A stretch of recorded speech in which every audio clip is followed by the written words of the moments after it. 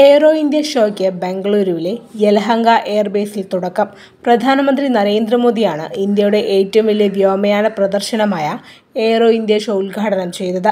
അഞ്ച് ദിവസങ്ങളിലായാണ് aero show നടക്കുന്നത്. എണ്ണൂറ്റൊമ്പത് പവലിയനുകളാണുള്ളത്. ഇതിൽ നൂറ്റിപ്പത്ത് വിദേശ പ്രതിനിധി സംഘങ്ങളാണ് പങ്കെടുക്കുന്നത്. എയ്റോ ഷോയിൽ പോർവിമാനങ്ങളും തദ്ദേശീയമായി നിർമ്മിച്ച ഹെലികോപ്റ്ററുകളും അണിനിരക്കുന്നുണ്ട്. സൂര്യകിരൺ വരുണ തൃശൂൽ എന്നിങ്ങനെ വ്യോമസേനയുടെ അഭിമാനമായ വിമാനങ്ങളും ധ്രുവ് രുദ്ര പ്രചണ്ഡ എന്നിങ്ങനെയുള്ള ഹെലികോപ്റ്ററുകളും ഷോയുടെ മുഖ്യ ആകർഷണമാണ്. ചരിത്രത്തിൽ ഇതുവരെയുള്ള ഏറ്റവും വലിയ പ്രതിനിധി സംഘവുമായി എത്തുന്ന അമേരിക്കൻ പ്രതിനിധികൾ ഇന്ത്യയുമായി സഹകരിക്കുന്നതിൽ അഭിമാനം മാത്രമെന്നാണ് പ്രതികരിക്കുന്നത്.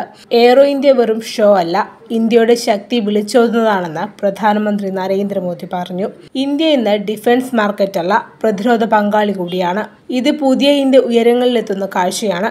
ഇന്ത്യ അതിവേഗം പ്രതിരോധ രംഗത്ത് വളർച്ച കൈവരിക്കുന്നുണ്ട്. റെക്കോർഡ് എണ്ണം വിദേശ തദ്ദേശീയ പവലിയനുകളുള്ള എയ്റോ ഇന്ത്യ ഷോ രാജ്യത്തെ ടെക് തലസ്ഥാനത്താണ് നടക്കുന്നത്. ഇത് പുതിയ അവസരങ്ങൾ സൃഷ്ടിക്കുമെന്നും എയ്റോ ഇന്ത്യ രാജ്യം മാറിയതിനെ സൂചിപ്പിക്കുന്നുവെന്നും പ്രധാനമന്ത്രി പറഞ്ഞു. ഇന്ത്യ ഇന്ന് അമ്പത്തഞ്ച് രാജ്യങ്ങളിലേക്കാണ് പ്രതിരോധ ഉൽപ്പന്നങ്ങൾ കയറ്റി അയക്കുന്നത്. ഇത് തുടക്കം മാത്രമാണ്. രണ്ടായിരത്തി ഇരുപത്തിനാല് ഇരുപത്തഞ്ചോടെ പ്രതിരോധ രംഗത്ത് അഞ്ച് ബില്യൺ ഡോളർ വ്യാപാരത്തിലേക്ക് എത്തുക എന്നതാണ് രാജ്യത്തിന്റെ ലക്ഷ്യമെന്നും പ്രധാനമന്ത്രി കൂട്ടിച്ചേർത്തു. രാജ്യം പ്രതിരോധ രംഗത്ത് ശാക്തീകരണത്തിന്റെ പാതയിലാണെന്ന് പ്രതിരോധ മന്ത്രി രാജ്നാഥ് സിംഗും പറഞ്ഞു. News desk Kalakaumudi